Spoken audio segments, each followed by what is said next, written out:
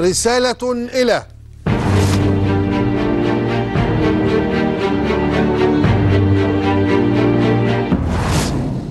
رسالة إلى خالد حنفي وزير التنوين. آه، أنا يعني لازم الأول أشهد للسيد خالد حنفي وزير التموين بقدرته الفذة على البقاء في منصبه رغم تقارير الجهاز المركزي للمحاسبات اللي التقارير دي لا يمكن أن توحي للمرء وهو يقراها كده إنه خالد حنفي يقعد على مكتبه ساعة.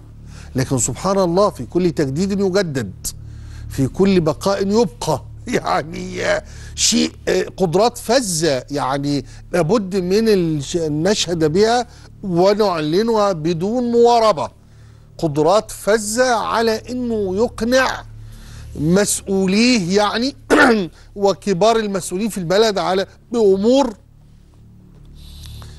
ينسفها الواقع نسفا ويتفضحها تقارير الجهاز المركزي للمحاسبات إلى حد مروع. لكن لله في خلقه وفي وزرائه شؤون. لكن المدهش النهارده البيان اللي خارج من وزارة التموين بيقول لنا إن السيد وزير التموين خالد حنفي اجتمع مع شركات الصرافة وإنه اتكلم معاهم على تثبيت سعر الدولار. والسؤال الآن بوضوح. وحضرتك مالك؟ أنت مالك بالموضوع؟ دي شغلتك؟